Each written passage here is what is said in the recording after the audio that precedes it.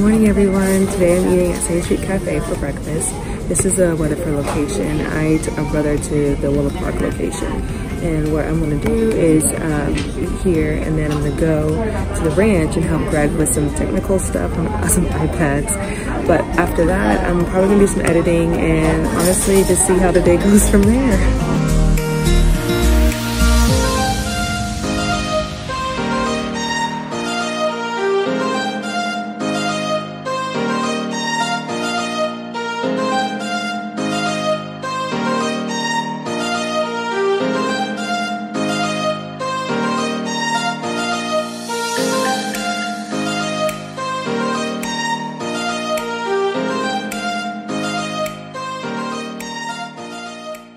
Um, today I got in the ranch and I met with this coach that, um, other from Greg, that we were just talking about track and all that. And um, I know, I don't know if a lot of y'all know, but once I was done with track in, this past May, I was kind of done.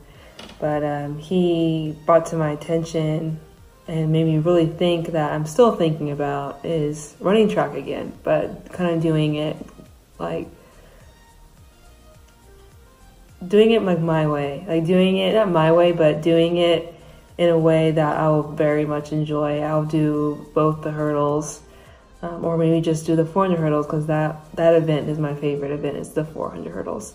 Um, so that would be something that I don't know. I'll be. I think I would very much enjoy, but as of right now, I'm I'm still thinking about it. But it's uh it's in my head. It's strongly in my head. But yeah. I don't know. But we'll see how the rest of the day goes and um, we'll go from there.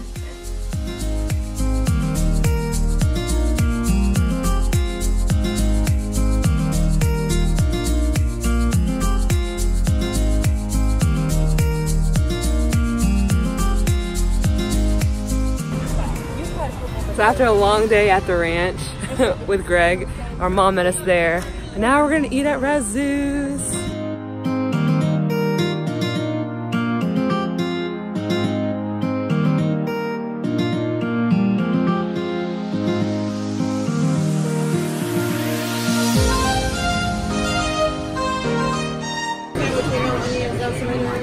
Thank you. Thank you. I appreciate it.